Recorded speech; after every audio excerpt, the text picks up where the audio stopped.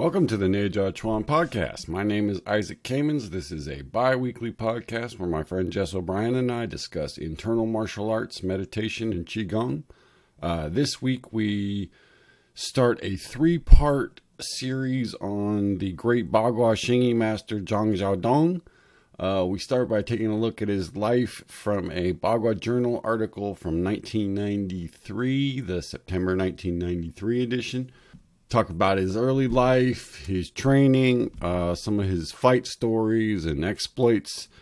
Uh, then we get into the Neigong portion of the podcast. We talk about the ever elusive opening and closing Neigong, and this relates to opening and closing joints as well as other parts of the body.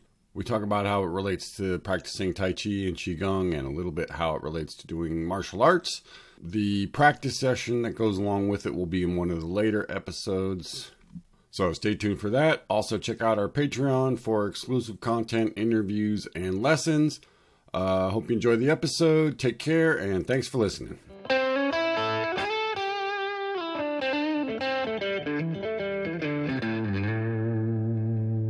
Welcome back to the Neijiaquan podcast with Isaac and Jess. Today's topic is the famous Xingyi master, Lightning Hand Zhang Zhao Dong. We've been talking a lot about the teachers of Liu Heng-jie and the different masters he learned Xingyi from. And we found another historical thread that connects him to the famous master Zhang Zhao Dong, who was, uh, you find his name all over the records of internal martial arts in the 20th century. So the last few episodes, we've talked about Liu Heng-jie's teacher, Li Jianqiu, and his grand teacher, Li Cunyi, well, this is another one of his grand teachers, Zhang Zhao Dong. And we stumbled across him when we were researching the big fight with the Russian Kang Tier. So we talked about the the fight and we talked about the connection with Li, Tsun, uh, and Li Jianqiu. So Li Cunyi and Zhang Zhao Dong were good friends and they did these sort of we talked about they did these tours and this sort of promoted this uh, martial arts association that they had started together.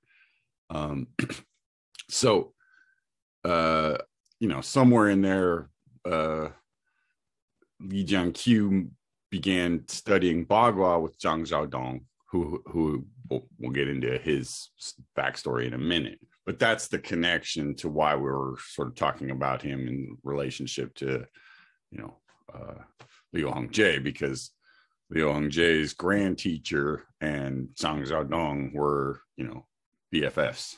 Yeah, they're total good buddies and they worked together in the caravan business and then they founded a martial arts association together. And I think their students cross trained with each other and started, they were part of that movement of Bagua right. and Xingyi and also Tai Chi, all cross training together and kind of yeah. forming a bit of an alliance that we call internal martial arts today. I mean, in his lifetime, look, he's born, you know, before the American Civil War even begins, 1859. So this is way back, you know, this is the time before firearms even pretty much came into common circulation in China at all. And before those great technological advances. So he's he's even 40 years old at the time of the Boxer Rebellion, which we think of as a long time ago. So he was already, you know, an right. adult man. So this is that sort of Taiping rebellion era and you know all of that mm-hmm. sort of I mean just just about I think yeah 18, yeah I mean maybe 18, a little 1860s is that the 1860s yeah okay interesting yeah. and the American gold rush is happening so. right before that so yeah he's born into sort of this older time period yeah. and it spends his whole life as a bodyguard so he's fighting hand to hand with weapons against bandits as a profession let's get into his life and actually talk about him as a person for a bit. So, Lightning Hand Zhang Zhao Dong lived from 1859 to 1940. He was born in Hebei province. His father was a poor farmer, and his family was often bullied by those in authority. Later in life, when Zhang became skilled in martial arts, he was very harsh on bullies because of what happened to him when he was young. As one biographer has written, Zhang Zhao Dong was big and tall, short tempered, and bold. He firmly opposed those who were roughshod over the people and disturbed public order. So I, I, see him as a bit of a hero with like a little bit of a Robin Hood vibe going about him to punish the uh, oppressors. Sounds like it, yeah. Zong was he only had a primary school education. He quit school when he was young to help his father in the fields. When he was a teenager, Zong Xiaodong became a Xingyi disciple of Liu Qilan. a highly skilled master of the art. So Liu Qilan is yet another generation back that's connected to many of the Xingyi schools that that we hear of here in the West today. And he's another figure that we're not even going to touch on yet. Yeah. Zhang Zhao Dong trained assiduously and became an esteemed Xingyi master as well. So he's he's bought into the one of the top Xingyi schools basically. When Zhang was 20, there was a famine in his village, so he left home and traveled to Tianjin, but had difficulty finding a job because his only trade was farming. So he began to demonstrate martial arts on the side of the road as sort of a busker to, to make a few coins, it looks like. Zhang hated to see people bullying others, so he'd always aid anyone who was being picked on. As his reputation grew, government officials recognized his talent for dealing with criminals and gave him a job as a thief catcher slash bounty hunter. Hmm. So this you can see his career as a fighter is just getting started because Yeah. he's beating up bullies on the street. Shortly thereafter, the famous second generation Baguazhang master Cheng Tinghua was visiting Tianjin and ran into some trouble. Zhang helped Chang with his problems and the two became friends. Zhang mentioned that he would like to learn Baguazhang. And Chen and Cheng gladly accepted. Zhang frequently traveled to Beijing to track down bandits who had fled Tianjin. Cheng also introduced Zhang Zhao Dong to Dong Haichuan, and from that time forward, whenever he was in Beijing, he studied Bagua with either Dong or Cheng. So he makes an early life connection with the founder of Bagua, and so he's there from the beginning of Bagua as a publicly taught martial art. Yeah, I I think he uh mostly trained with Chang and you know probably met bit, but Dong was pretty old I think by the time he met him so um, Right, you know it's one of those situations where right. So connect with the top master, and then keep your training with his student going. as they say you'd get the transmission from the the you know grandmaster but you do your training with the young master right Right. so but So, that's I still- mean, yeah. Anyway. well it's it's still I mean if you look at the his two teachers like Li Qilan and right. I mean these, these Haichuan? it's like the source of the two are you know as- or as close as you can get in this you know Right. or 19th So I see why his name is so big because he he met both those guys at a super young age, so he was able to live well into the 20th century as a direct student of these two Right. of the top guys ever. right So yeah, Zhang Zhao Dong, that's quite interesting connection there. We're reading from Bagua Journal, uh, September issue of 1993, which is the probably the best biography of Zhang in uh, English. It mentions here that Li Tsunyi, the famous Xingyi master, it also trained with him at the at the same time. Uh, they both together went to visit Master Dong Haichuan and Cheng Tinghua, and so their Right. their relationship is fused there. It, I think that may be even where they first met. Uh, yeah i mean I, well they were both students under Li Qilan Each- so- okay, okay, that makes sense. so that that i think that so li Zhenyi, zhang xiaodong Geng Jishan uh uh oh, i'm blanking on the other guy's name but there's a couple other guys who are all students of uh liu qilan's and you know they were sort of that first generation to really spread it you know right. It says it says here that uh, um, he continued to work as a thief catcher, but he also involved himself in martial arts demonstrations and participated in a number of platform boxing matches against foreign opponents. That's where they get up on the Lei Tai platform Right. and fight against foreigners. again here here's the recurring theme of kick the Yeah. shit out kick the shit out of a foreigner and make yourself famous right? It's a way to get your rep. He liked to participate in these events because the better his reputation, the easier his job became. If the bandits were afraid of him, they would not cause as much trouble when he tracked them down. Zhang especially liked to become involved in fighting with platform boxing opponents who were boastful. He was best known for defeating a Japanese martial artist and a German strongman. During this period in China's history, anytime a Chinese boxer beat an opponent from a foreign country, it was big news. However, Zhang's dealing with the foreigners extended beyond the boxing challenge platform. So he he defeated a Japanese martial artist and a German strongman, which is interesting. That so it sounds like every different nationality was sending guys to China to fight on the Lei Tai somehow. As I mean, yeah. It was sort of I think it was kind of the UFC of its day, right? Like I guess so, or maybe the WWF, right or or one mixture of both in a strange way. yeah. It's partially a hype, you know, carnival show, but it's also. I imagine some of the matches probably turned pretty real, especially after the first couple blows. I mean, yeah, uh at least from the stuff I've seen it's the carnival atmosphere of it, sort of the step right up, step right up kind of, you know, like thing where because they were modeling it after Western circuses and things like that. But then the stuff they were doing inside was, you know, a little bit more brutal than, you know. Right. Chinese, yeah. This uh, and I think the Lei Tai tradition of fighting on the platform definitely goes way back. Sure. And for people who don't know, you know, the Lei Tai is a it's a square boxing ring, but there's no ropes. So if you get pushed off the the side, you lose. I think it's four feet off the ground, something like that. Well, it depends. From what I heard, it's like it could be just a circle, you know, a square painted on the ground. Uh, but the higher profile the match with the bigger prize, they lift the Lei Tai yeah, higher and yeah, higher yeah. up. So, like in movies, you'll see it's like 15 feet off the ground right, or whatever, you know. But I think you know, a high if you're five feet off the ground and you get shoved off this thing out of control, you you could easily die from it. So I think there's an element of risk in the Lei Tai that's pretty freaky. It's a definitive end to the fight. I guess the refs know? can't. Like, yeah, yeah, the refs can't throw the fight if you uh, at that point. Off. It's like yeah, like you get kicked in the chest and fly off the platform. Like that's the end of the fight. Right. You know, like, the, the, referees can't take it away from you. Right.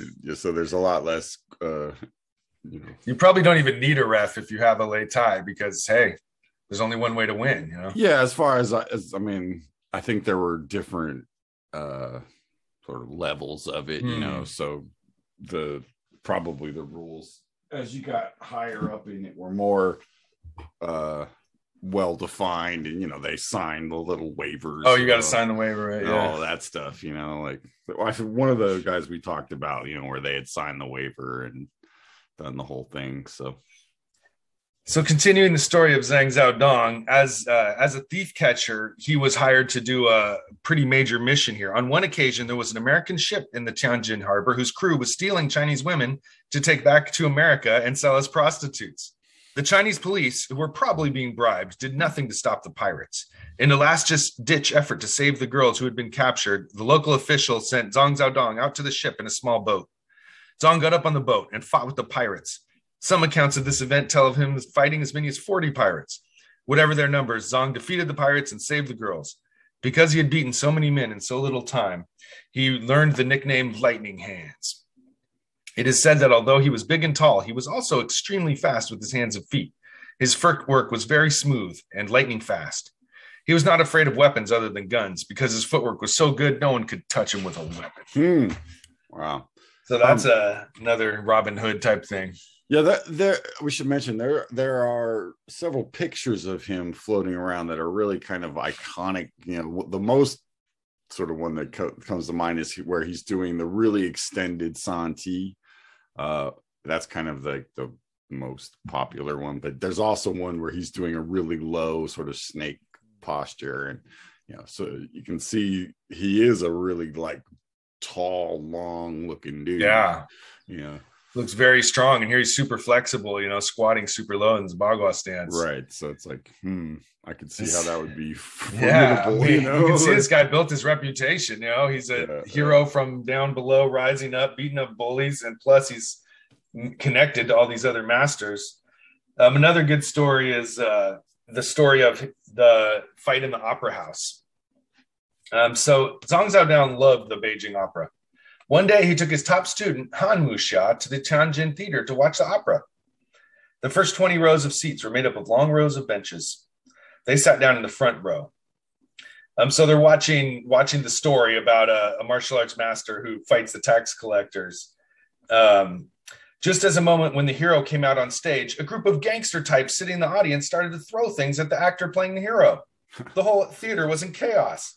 John got mad and grabbed one of the hoodlums, threw him on the stage, jumped up after him, and held him down with his foot.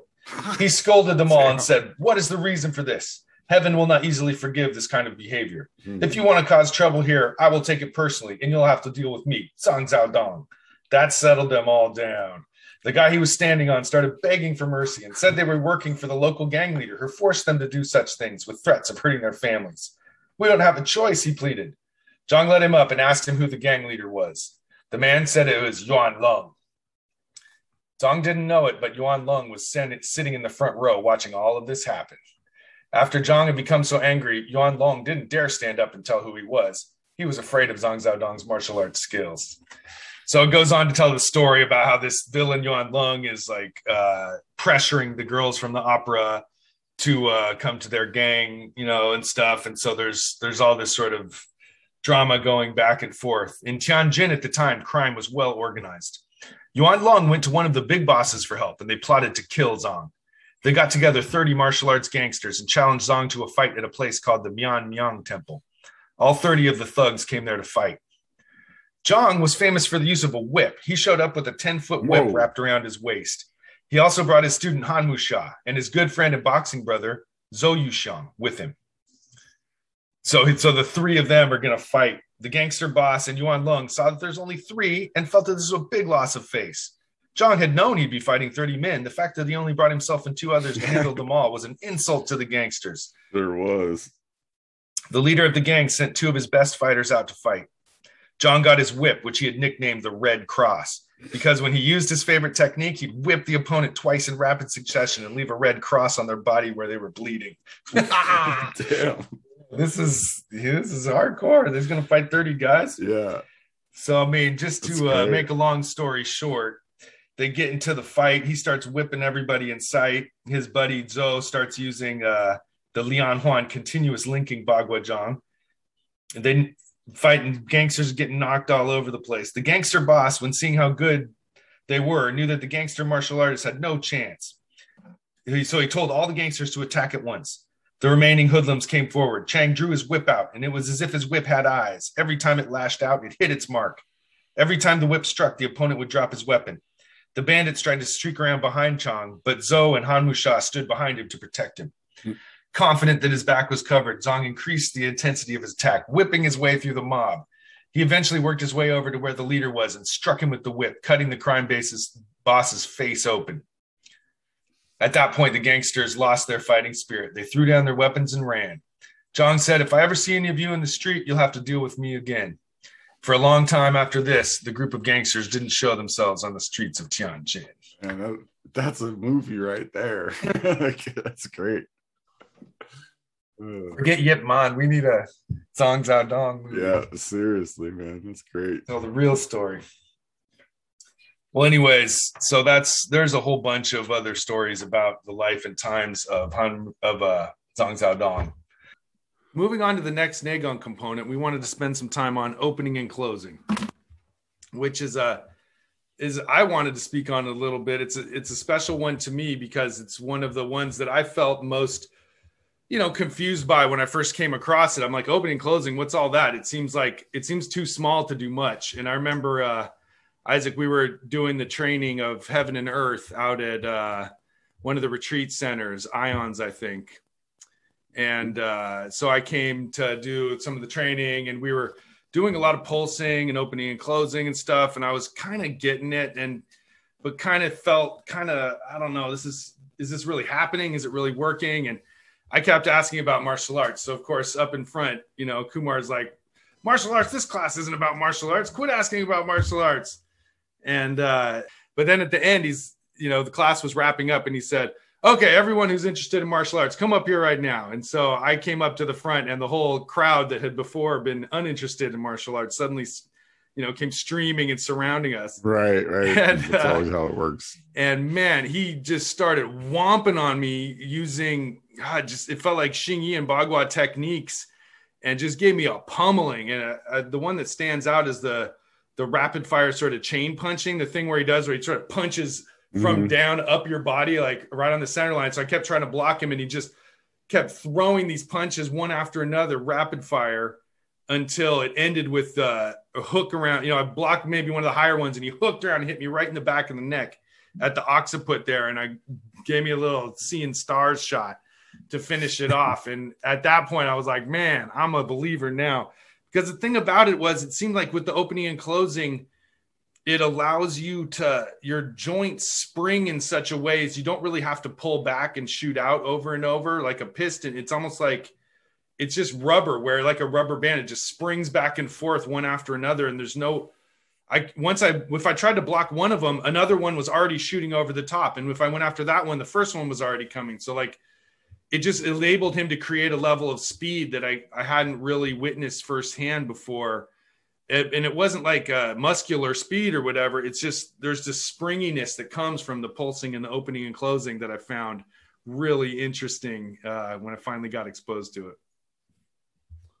Yeah, well, let's first just talk about what it is, and then I'll kind of, I think, explain that bit of it. Um, so the the action, right, is just the very slight compression and expansion of the space between your joints and these larger, what are referred to as cavities inside your body, these spaces like your solar plexus, your armpits, things like that. And what this compression and expansion and release does is it um, creates sort of a, a spring inside, like an internal spring inside the body. So you can see this really well in babies. You know, they just have this sort of bounce. Um, I mean, it was one of the things I first noticed about you is that you kind of walked with this kind of bouncy thing, and I was like, she's got more spring than most of these guys.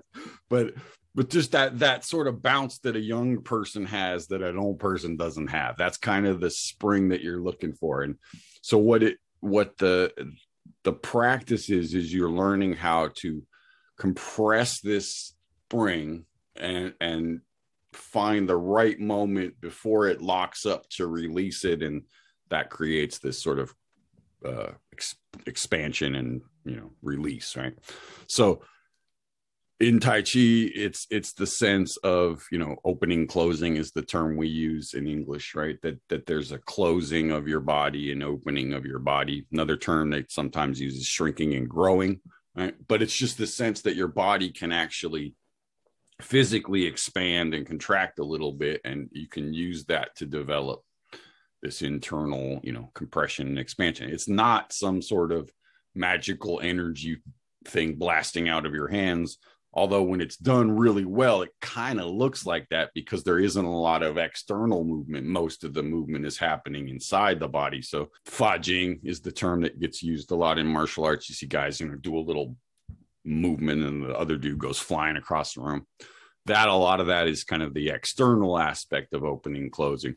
What we're talking about is more the in, internal sense of doing it like with your internal organs or your joints or you know smaller things like that.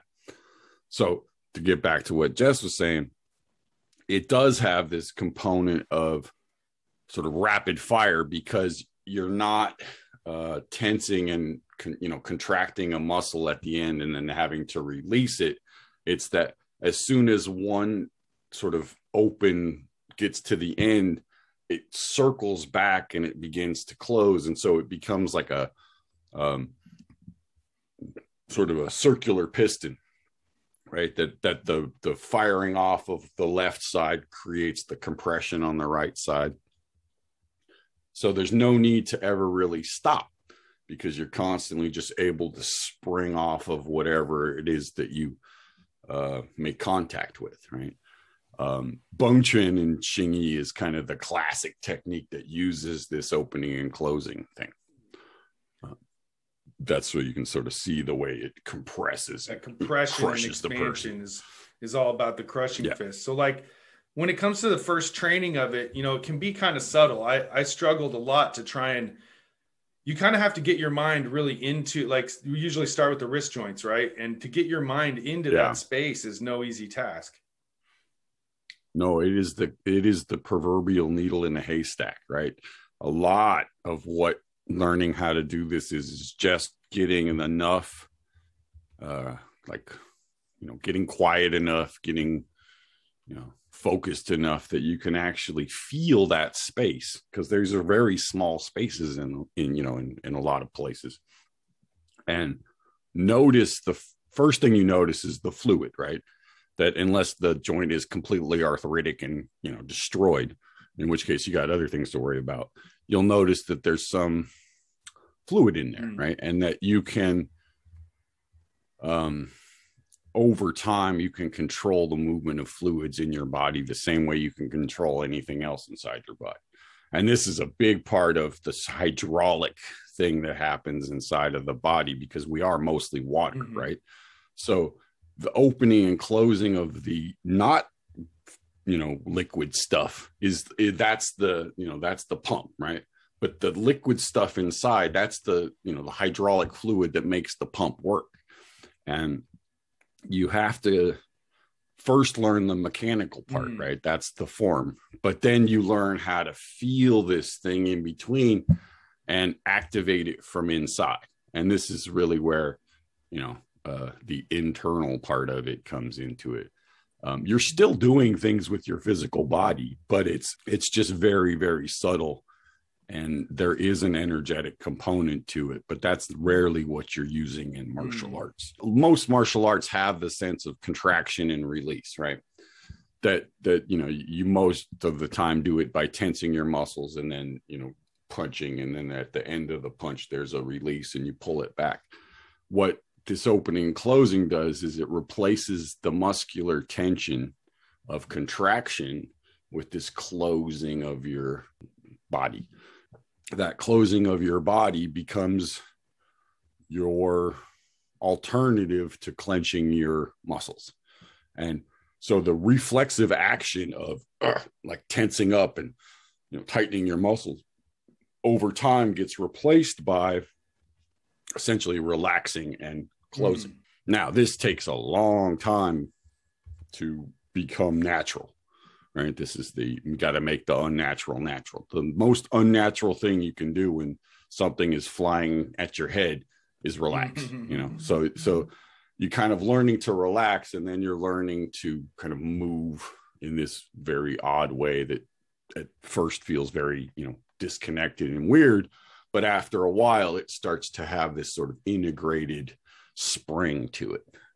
So I think when it comes to this type of martial arts in this school, there's a few things that stand out as one of the core skills. You know, one of them is this opening and closing because it's it's a real specialty of this system. It's one of the real core things. I think another one would be dissolving. Um, another one would be spiraling. But when mm-hmm. it comes to opening and closing, there's something about that one that's kind of the most physical. It's the most tangible, right? Because like if you add that opening and closing to a punch, suddenly your punch has a little more punch to it. Whereas dissolving and spiraling too, but maybe it's harder to feel. It doesn't have that physical side to it as much.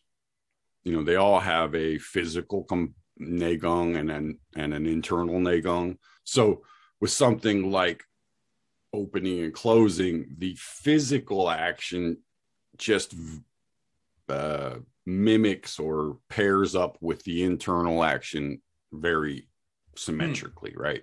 Yeah, that makes um, sense. So right, so so it's very clear that like, oh, if I'm closing my hand, you know, like my fingers getting closer together, I'm closing my joints, and when I'm stretching my hand open, my fin- my joints are getting farther right. apart. So it's it, you know that that part of it. So you can I think use the body a little more to kind of jumpstart it. And then once the pump is going, you know, it'll start, it'll kick in on its own. And, and this, you can see this a little bit with like, um, well, really anybody, but anyone who's like running and then jumping, right? It's that, it's the way you kind of, with each with each stride you load up a little more load up a little more and then on that third or fourth stride you're you're as completely loaded up as you can be so you can push mm. off right it's that but just take that and make it really tiny inside of your body right? So instead of it being a large muscular you know contraction and expansion it's you're trying to do it with the tiny little muscles inside your shoulder right? And then over time you start to have this space and then the space gets filled with fluid and then the fluid starts to move and you start to actually be able to manipulate that. So it's this kind of layered process right? So i think like all neigong kind of starts on the surface you know because that's the easiest part to feel and then you work your way in right? And this one just has like i said it, the, the pairing of it just makes it the most logical in a sense. I mean a lot of the stuff with dissolving um it, it's not logical mm-hmm. you know to think it, it's it's like how does you know how does letting go and uh feeling like everything is melting making me stronger you know it's it's sort of this opposite thing right? Where with the the opening and closing it's very clear like how when you close and you kind of hunker down you you feel more stable. And then when you release that there's this spring you know and i think it's just an easier one to grok on that right. level. But getting into these finer points it's like just that's the sensitivity part where it I don't know. Like I said, it's a needle yeah. in a haystack. Once you find, you know, once you find it, it's like, oh, there it is. But it it may take you a long time to to really narrow, you know, to zero in on it. So what about suggestions? You know, when people are starting this out and they're trying to get that that pulsation, you know, usually starts with the hands and the wrist because those are the most sensitive areas. But I've noticed yeah, the further uh, you get down your body, it gets harder in the hips and and knees and ankles right. and stuff. Yeah, the the the two things you usually start with are your your quad, your hips, and your wrist, right? Because the quad is the biggest one you've got, right? And the wrist is the most uh probably the most flexible. So you get the the taste of it, if you will, in your wrist. And then you try to mimic that feeling in your hips and other places, but you start with your quad because that's a big one. And you just, you know, you get the sense of can I make that same you know, sort of squishy feeling you can make in your wrist inside of your hips. And, you know, the uh, usual experience is not so easy, but you start having these like moments of, uh, you know, it's like hide and seek. Like every so often you hit it and you're like, oh, there it is. And, and you feel the bounce and you feel everything spring nice and smoothly and then you know for the next 20 or 30 times it feels sort of clunky and you're trying to like find your footing and you know and, and like you said it just can feel very disconcerting. Would you incorporate that into the the squatting the uh, quad squat that you do as part of energy gates? You'd you'd sort of make your quad squat smaller and smaller until you can really just get into the very joint itself to with real minimal movement. That is the i mean if you want to really get into a true quad squat, right? Not a squat that involves using your quad. All you're doing is cl- opening and closing that space from about the top of your hip joint to maybe like, you know, a third of the way down your thigh. That whole space starts to open and close the same way your wrist does or any other joint does. And that creates this kind of like squishiness. So there's like a range to the quad squat from just a full on squat, ignoring any kind of energetic side of it to, you know, to narrowing it down a bit to getting to most precise, just barely moving, you know, millimeters, centimeters through the pulsation of the quad. You you kind of go uh real big, do the physical part, right? That's like don't move your knees, make sure your mm. spine is straight, keep your, you know, straight is not the same thing as vertical, I should add, right? So that you can you can squat maybe you bend forward but at least your spine doesn't bend when you do it. Um, and then you come up by bringing your hips forward. Um, then you start with the sort of first level of the internal which is just to feel the expansion inside of your body a little bit. Like the natural oh when i squat things open up. When i stretch you know things close or vice versa right and then once you kind of get the physicality of it worked out and then you start this process basically of um, the big things kind of power the movement the small things refine it right so mm-hmm. i'm just going to use the quad and the wrist as the example right the power of it you know the the the ability to really get it going is going to come from your mm-hmm. quad but the ability to feel how it can move inside of you is probably going to come from your wrist. So you get this feedback loop of the big thing kind of pumping up all the little stuff and then the little stuff sort of concentrating that pump or or directing that pump in a way that you want to you know target different things right the final stage is essentially you're doing it with almost no physical movement and it's mostly just you can control the fluid movement inside your body, um, which is possible. Like, you know, one of the things with healing my scoliosis was learning how to actually move my spine without the muscles. And then there's a whole sequence of, you know, how you develop it. And that's the marriage of heaven and earth. Well, why don't we turn to doing a little practice now? Hey, folks, uh, just a quick reminder uh, check out the Patreon coming up soon. We're going to have a Patreon only episode about Tan Shu, who was uh, Liu Hongjie's Buddhist teacher. So if you're interested in the Buddhist side of the meditation things, uh, you definitely going to want to listen to that one. Okay, thanks for listening and take care of yourself.